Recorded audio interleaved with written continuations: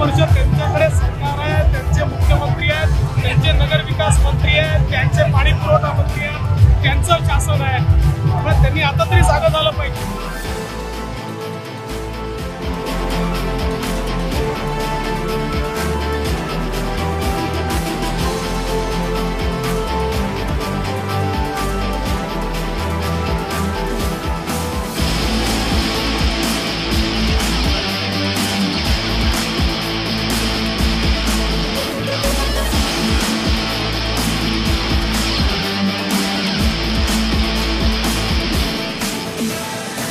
त्यांना विचारा त्यांच्या पक्षाला विचारा की तुम्ही काय झोपा काढताय? एकशे एकोणतीस कोटी रुपये या ठिकाणी दिल्यानंतर अडीच वर्षामध्ये थेंबर पाणी जर जालन्याच्या नळाला येत नसेल तर तुम्हाला राज्यकर्ते मिळवून देण्याचा अधिकार आहे का?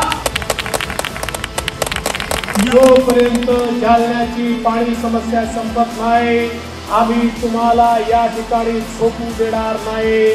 आम्ही संघर्ष करत राहू.